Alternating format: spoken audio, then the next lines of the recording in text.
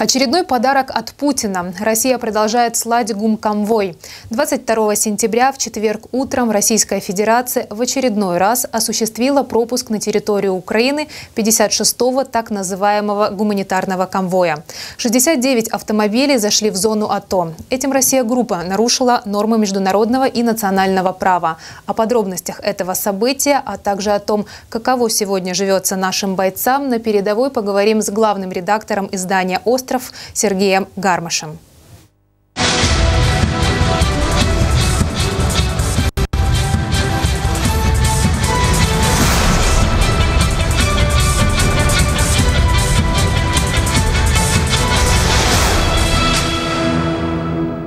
Сергей, здравствуйте. Обсуждаем с вами сегодня тему, вот, что завез гумконвой на территорию Донбасса. 22 сентября через пункты пропуска Донецк и Матвеев-Курган на въезд в Украину проследовало две колонны гумконвоя. 69 автомобилей. Вот спикер Государственной э, пограничной службы Украины Олег Слободян заявил следующее. В ходе визуального наблюдения было установлено, что большинство автомобилей заполнены якобы, якобы продуктами питания и медикаментами. В то же время особенностью 56-го э, гумконвоя можно считать несоответствие указанного э, в ноте МИД РФ характера груза, поскольку помимо заявленных товаров въехали грузовики с книгами, мебелью и сантехникой, а также количество транспортных средств. Заявлено было 60, заехало 69. Я так понимаю, что вот таможенная и пограничная служба Украины их не допускают к осмотру гумконвоя международные наблюдатели что-то могли сделать в этой ситуации или нет? Ну, учитывая, что это уже 56-й, по-моему, да, вы сказали, конвой, да. и как бы... Видимо, не могли. Да, очевидно, что международные наблюдатели ничего не могут, и даже вот подход России, когда заявляется одна цифра, а ввозится другая, показывает, что, в принципе, э, ну, Россия а, какие-то формальности чисто осуществляет, на самом деле ей глубоко до одного места, как бы вот, э, ну, реальная ситуация, скажем так, или реакция нашего государства на эти гумконвои. Ну и не только, наверное, нашего государства, но ну, и нашего государства в первую очередь, это же наши все-таки границы, которые якобы, скажем так... Хорошо, Украина могла что-то сделать в этой ситуации или нет? Остановить гумконвой, не пропустить его дальше? Нет, к сожалению, мы ничего не могли сделать, поскольку наши пограничники там просто находятся. Никаких реальных действий по отношению к этому гумконвою или вообще к этому участку границы они не имеют возможности осуществлять. Все-таки э, можно говорить о том, что границу, вот этот участок контролируют российские пограничники и боевики так называемых ЛНР, ДНР. Поэтому наши пограничники выполняют роль статистов, честно говоря, даже не понимаю для чего. Просто для того, чтобы фиксировать э, переезд. Возможно, это юридически будет когда-то играть какую-то роль, если мы, допустим, будем судиться с Россией, да, вот за то же несоответствие количества указанных машин и количества э, въехавших в реальности. Но как бы влиять на ситуацию сейчас абсолютно То есть вот они, э, когда пропускали этот гумконвой, в принципе, никто не мог повлиять на эту ситуацию. Было заявлено 60, 9 машин остановить никто не мог? Нет. Только российские пограничники. Только российские пограничники. Что, в принципе, они должны были сделать, но не сделали. Почему? Вот э, российские, российская сторона уверяет, что весь груз якобы будет распределен среди населения Донбасса. И при загрузке присутствуют представители органов местного самоуправления, которые в дальнейшем распределят гуманитарную помощь по, социальным, э, по социально значимым объектам Донецкой и Луганской областей. Вот так вот написано в МЧС Российской Федерации.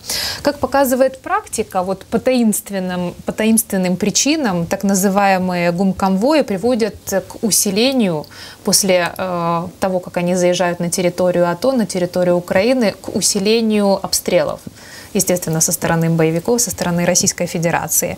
Вот э, 60 машин. Примерно, ну, мы понимаем, что там не только гуманитарная помощь, что там может быть оружие. Ско какое оружие может быть завезено? Сколько его может быть завезено?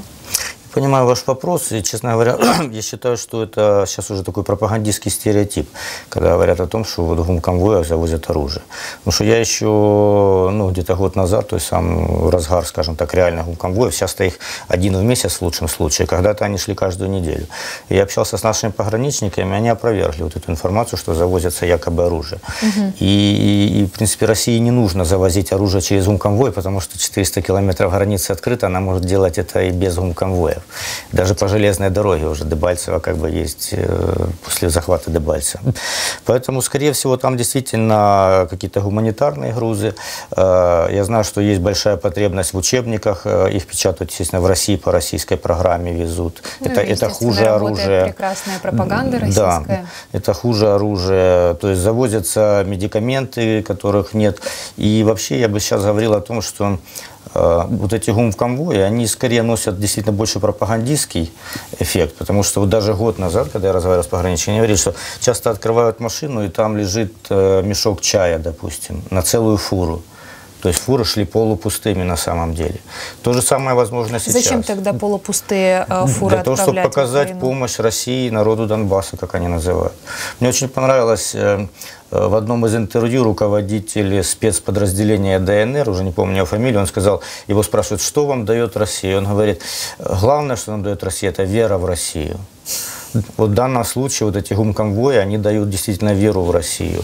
На самом деле, как бы, ну, и оружие они могут вести так, и несоответствие. Ну, да, даже те же медикаменты и все прочее, чем Россия действительно хотела бы помочь, можно вести без помпы, скажем, без вот этой пропагандистской шумихи и помогать действительно людям. Как? Но, извините, мне одно замечание мне очень понравилось, и действительно это всегда у них в пресс-релизах МЧС российского, они всегда пишут в Донецкой и Луганской областей, угу. не ДНР, ЛНР, а Донецкой и Луганской областей, соответственно, да. Украины.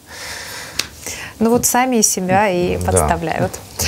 А, вот мы заговорили о пропаганде. Российская пропаганда работает, э, безусловно, очень хорошо. Украинская сторона, Украина как-то может с этим бороться? Ну, как по мне, мы ничего не делаем. Ну, по мне тоже, хотя вот я недавно брал интервью Татьяны Поповой, бывшей заместитель министра информационной политики, и задал ей вопрос, почему мы не глушим сигнал. То есть они наш сигнал глушат, телевизионный, радийный, а мы их не глушим. Она мне сказала, что этим должно заниматься СБУ. Почему этим СБУ не занимается уже два года, мне непонятно, и я не могу задать такой вопрос. Но думаю, что есть технические возможности и средства и желания. Когда-то, еще в 2014 году, э, ну, общественность, я в том числе, ставили вопрос о том, что была уничтожена Донецкая телевышка. И тогда были, знаете, во-первых, она тогда еще работала, э, скажем так, при финансировании украинской стороны, как ни странно, уже захваченная. Но тогда была интересная версия от Маска, которая официально не озвучивала, озвучивали, но неофициально, вот даже в администрации президента не озвучили, что там якобы находятся в подвале этой телевышки заложники, там, среди них даже какой-то священник. Ну, и мне было не, скажем так, не, не этично, да, поднимать этот вопрос, потому что вдруг действительно заложники, там, хотя, ну, можно разбомбить, э, я считаю, при, при нынешних, скажем так, технических возможностях. Ну, два года вряд ли там заложников содержат, да, и сколько людей отравлены этой пропагандой, и сколько благодаря этому убито наших солдат. То есть здесь нужно соизмерять, конечно, и что-то делать с этим. Я тоже считаю, что Украина, к сожалению, очень мало делает для, ну, в плане контрпропаганды. И все это очень кустарно. То есть я что-то делаю, вы, может быть, что-то делаете. Государственной политики противодействия этому абсолютно я не вижу никаких даже признаков. Давайте сейчас мы прервемся а, и через несколько а, секунд поговорим о встрече в нормандском формате.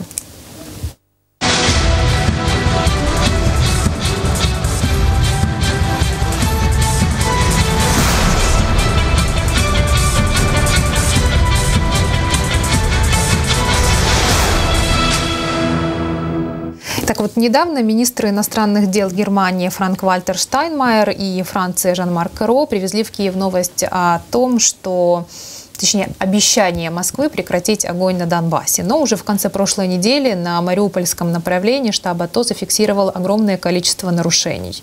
Давайте мы посмотрим э, сюжет о том, как это все происходило.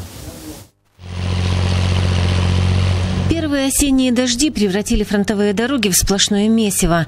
Добраться на передовую в районе Старой Игнатовки можно только на БМП. Гусянка – это хорошая штука вообще. Не сравняться с, с колесом. Владимир, водитель-механик боевой машины пехоты, рассказывает, броня его никогда не подводила. И полушутя добавляет, машины и бойцов бережет ротный талисман. Наші этот, з Дебальцева, як виходили, один нарисував, так знайшов в інтернеті рисуночок. І так пошло и поехало, рота стала такие клеймо. Береже, пока мы все, дай Боже, все хорошо. Но лучше талисманов берегут бойцов их навыки, говорит командир подразделения 22-летний Михаил, выпускник Львовской академии сухопутных войск. Ночью, благодаря бдительности постовых, подразделению удалось заметить и обезвредить вражескую диверсионно-разведывательную группу.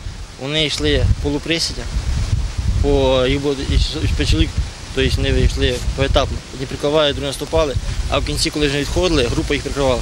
Тобто просто операція була спланована, направлена і йшли іменно на конкретну точку. Тобто це діяли непрості, непрості хлопці. Хлопці, які були хорошо навчені, скажу так. Диверсантов украинские военные заметили с помощью тепловизора. Піднялися, виходить, за бугра. От, підійшли ближче сюди.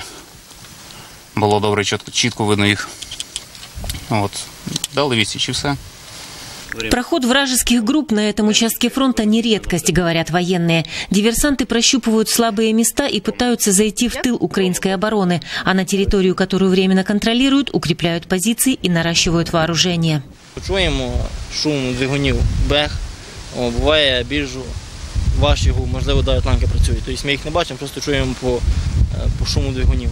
Як у них десь раз на день, раз на два їм підвозять е, грузові машини, то лі БК, то лі продукти. С первым осенним похолоданием бойцы на передовой стараются утеплить свои блиндажи и запастись чаем. Говорят, неписанное правило всегда держать чайник на огне выполняют неукоснительно. Ну, тут у нас от такі всякі чаї, кав'яні. Тобто десь хтось, якщо трохи прихворів, то і чайку, прям такі чаї. Не завжди буває тихо, як зараз, але в основному питаємося деякий такий уют создати, як вдома. Ну, в принципі, в мене вдома така ж бесідка, так що почти мож- можна сказати, я вдома. Большинство бойцов этого подразделения на передовой около года. Признаются, соскучились по дому и своим мирным профессиям. Купили на позицію шуруповерт. Взяв в руку, засміявся, ну приємно, це моє. Судя по количеству обстрелов, ситуация на Мариупольском направлении остается самой напряженной в АТО, констатируют в штабе. И добавляют, противник использует перемирие для перегруппировки своих сил и ротации личного состава. А потому, несмотря на объявленный режим тишины, украинские подразделения несут службу в режиме полной боевой готовности. Татьяна Игначенко, Евгений Гончаренко, Донбасс Реалии, Радио Свобода. Сергей, вот я сегодня с вами еще немного позднее хотела бы обсудить тему того, что мы видим э, на официальной картинке э, о том, как ведут службу наши военнослужащие и какая картинка в реале. Но сейчас давайте вернемся все-таки к нормандскому формату. Говорили о режиме тишины, видим, что обстрелы продолжаются.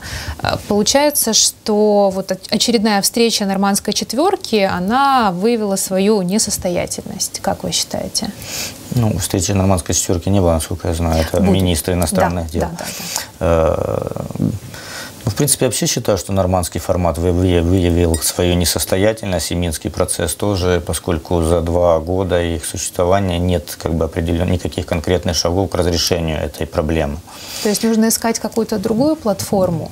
Ну, не на мой взгляд, если эта формат. платформа неэффективна, то нужно искать. И, скорее всего, э, вопрос о смене платформы не стоит, поскольку очень э, зыбкие позиции канцлера ФРГ нынешние, и выборы в Германии на носу, как бы, в том числе и французского президента тоже.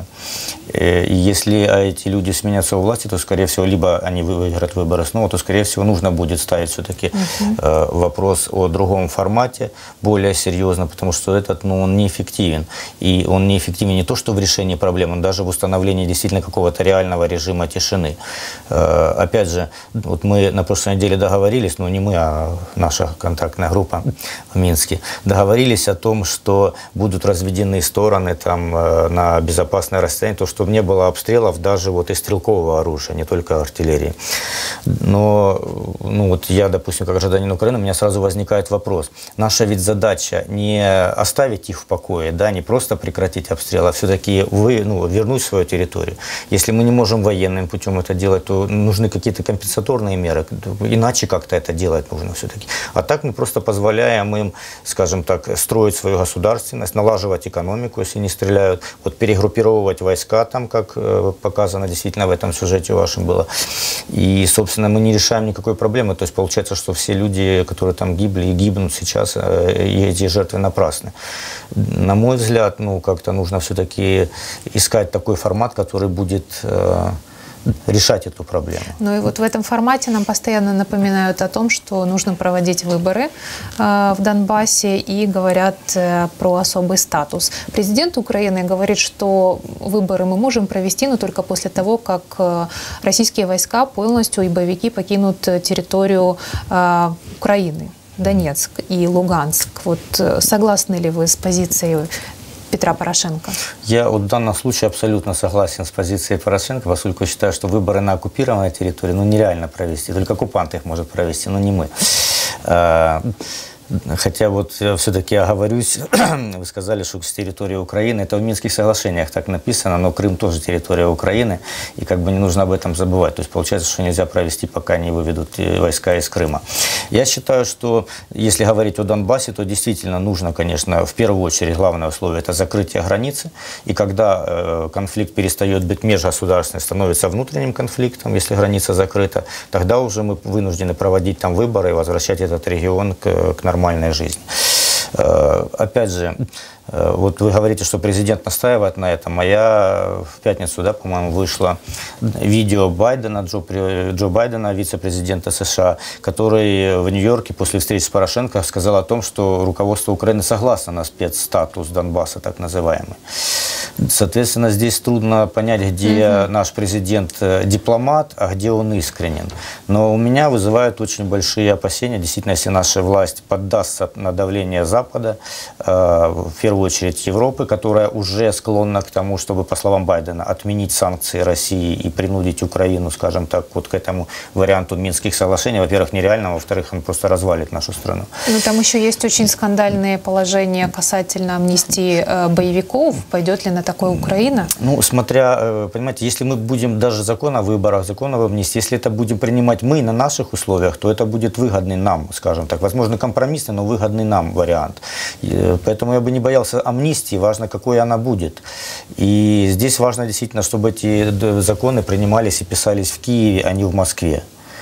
Вот то, что сейчас предлагают, и текст Минских соглашений, он абсолютно видно, что он писался в Москве, скажем так, и он абсолютно, если он будет реализован, хотя я уверен, что он не будет реализован, потому что его невозможно реализовать, он не логически написан. Это вот чисто для затягивания времени было сделано. Я не понимаю, Запад этого не понимает. Или у Запада расчет такой, чтобы тянуть время там и, и смотреть, кто кого съест, Россия, Украина ну, или тут Украина, тоже Россия. эксперты говорят о том, что и Украина может тянуть время, потому что это на международном уровне еще один момент поговорить про Украину. Украина и тянет время, потому что она, если она выполнит Минские соглашения, то это будет конец Украине, конец Порошенко.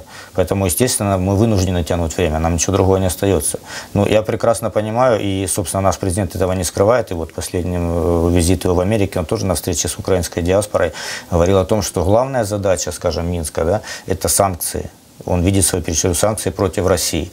Э, таким образом, я делаю вывод, что все-таки главный расчет нашей власти на то, что санкции ослабят Россию, Россия сама оттуда уйдет. Э, ну, как бы стратегически это правильно, тактически мы теряем целое поколение людей, мы теряем э, кучу жизней, скажем так, мы теряем, главное, моральный дух и мобилизацию общества нашего. И если завтра будет какое-то наступление, то я не знаю, на кого будет опираться наш президент.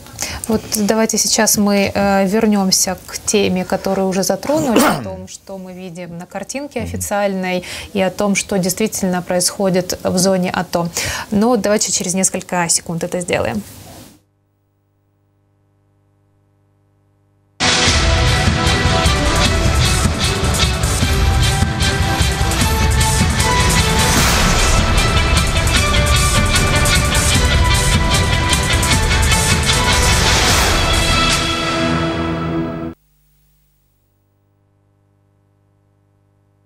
Армійські вантажівки КРАЗ, які знаходяться на озброєнні українського війська.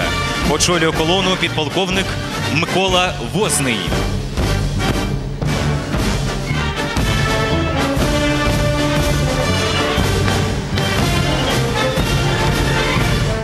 Збройні сили! Непобедима наша армія! Да! Вот так работает. Вот это наша техника. Вот так мы заводимся. Не мог, а? Это по поводу парада, который был доблестно проведенный нашим президентом и всем, всеми, всеми нашими доблестными депутатами. Посмотрите, как двигается наша техника, что на самом деле у нас на передке. Смотрите, вот это наш сила толкачей, это та техника. Одноглазый у нас здесь, понимаешь, то есть все нормально, то есть вот так вот. Это не та техника, что ездила на параде. Слава Украине! Предложили быть водителем, не отказался, сел за Урала. Хотя у меня права водителя, мне сказали, у меня на легковую, э, сказали, да ничего страшного, все нормально, давай. Просто отказали тормоза. И э, выбор был, взяла въехать, в людей въехать. И я выбрал яму. Упал я в яму. В яму. Чем тебя обвинили? Меня обвинили сейчас в том, что майор мой, э, Рудик, вот это, старший водитель, обвинили в том, что я поломал машину, и мне сейчас надо платить деньги. Вот, за машину. Пока если я не заплачу деньги, я никуда не уйду, не переведусь, ни в отпуске, ничего. С меня требуют сейчас деньги, я должен сейчас заплатить 3 тысячи, потом 2 и полностью сделать Урала машину. За то, что когда я влетел в яму, я только испортил бампер. Вообще, водитель, водитель механик, механик МТЛБ, я приезжаю на передовую, привозят нас ночью, смотрят военный билет моего, э, то, что я во Львове проходил э, целый месяц, зубрил и ездил, и сдал все на 5. Я прихожу, а мне дают ДШК утром. Говорят, вот ты ДШКист. И делай, что хочешь. И мы едем сразу в Зайцево. Я езжу на любой гусечной технике, а мне дают ДШК. І виникає питання: а яка гарантія того, що всі наші оптимістичні плани не залишаться на папері і не повіснуть в повітрі? Відповідь очевидна. Головний наш гарант це є Збройні Сили України. Вот, Сергей, почему так получается? Мы видим одну красивую официальную картинку, а на самом деле у нас полнейшая разруха. Что не хватает? Не хватает вот этого коммуникационного мостика между правительством, между Киевом и Донбассом, а то э, не хватает финансирования. В чем основная причина? На мой взгляд, не хватает просто механизма ответственности, в первую очередь военных, потому что мы знаем котлы, за которые никто не понес ответственности, и масса случаев. И сейчас, вот когда я общаюсь, действительно очень много, сейчас в последнее время так получается, общаюсь с нашими военными, которые на передовой, то мне рассказывают, что просто нашу армию пытаются вот те генералы еще, которые советские, знаете, которые 20 лет, 25 не воевали не, и сидели, как бы сейчас вдруг получили финансовые потоки, власть, ощутили себя важными людьми. Вот они пытаются строить нашу армию по образцу советского, извините, дебилизма, да, ну, осталось только еще траву красить начать, как было там в какое когда-то.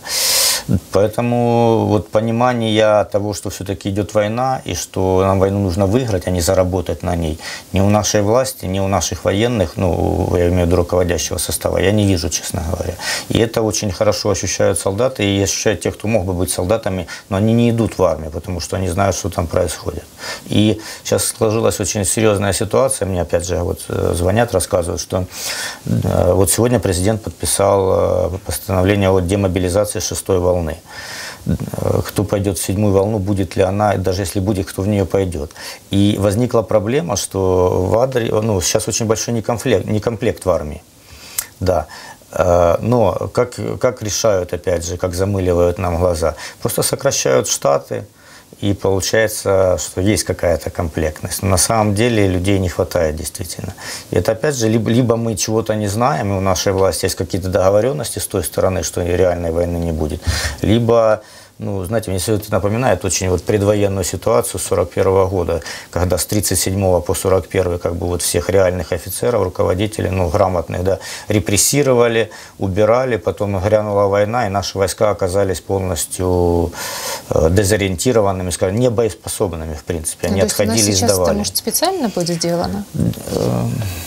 Ну, я допускаю и такой вариант, почему нет. Учитывая, что все руководство, скажем, армии практически осталось с тех времен, а мы постоянно слышим от президента, от руководства нашей пресс-служб, вернее, спецслужб, насколько велико да, агентурное влияние России, как много у нас агентов России вот за 20 лет было внедрено, в том числе и военное ведомство, и мы видим результат их работы, потому что армия действительно была к нулю сведена, э, то вполне можно считать, что да, ведут ведутся какие-то действия, преднамеренно ослабляющие армию и преднамеренно дискредитирующие добровольческое движение. Потому что пока армия создавалась героически усилиями нашего президента, все-таки основной удар сдерживали добровольческие батальоны. Да. А сейчас их смешивают с грязью. Сейчас уже 10 тысяч из них сидят, уголовное дело открыто. Ну, сидят, я не знаю, по-моему, 1400 уголовных дел по 10 тысячам более. То есть это очень серьезная атака.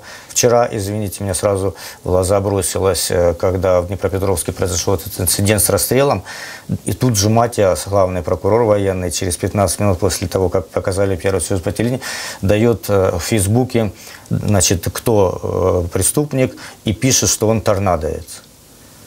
То есть сразу приклеивается ярлык к этому. Хотя мы еще не знаем, на самом деле, действительно, то служил он в торнаде, да, и на тот момент мы еще не знали, действительно ли это тот человек, о котором есть. Но уже сразу приклеивают ярлык к торнадо, хотя я анализировал э, обвинительное заключение по торнадо. И то, что говорили об этом батальоне тот же Матиас э, и Татьяна Черновол, другие, скажем так, нет в обвинительных заключениях ни обвинений по изнасилованиям, там, ни, ни, ни по ну, детской там, каким-то... Ну, то есть э, им создали такой ужасный имидж, а на самом деле этих обвинений даже нет. Вот поэтому и суд закрытый, потому что там нет того, чем пугают нашу общественность. Вот этот имидж кажется, создается. Да, это, это еще отдельная тема для разговора. Mm. Давайте на сегодня мы э, закончим, потому что наше время подошло к концу. Спасибо, что сегодня были у нас в студии. Я напомню, что э, в гостях у нас был главный редактор издания «Остров» Сергей Гармаш. Это была программа «Что происходит» в эфире Черноморской телерадиокомпании. Увидимся.